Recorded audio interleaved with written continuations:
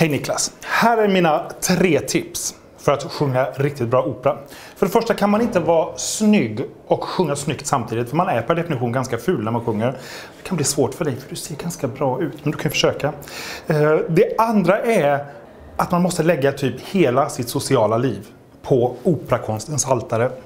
Det går inte att sitta upp och hålla på och snacka och dricka ett glas vin och ha så här talkshows. Mm, mm, mm. Sluta med det så du bara sparar rösten till att sjunga. Och det tredje är att du måste öva massor. De timmar jag har lagt i övningsrum, det är de du behöver göra. Och jag kan visa vilket övningsrum jag är i så kan du komma dit sen.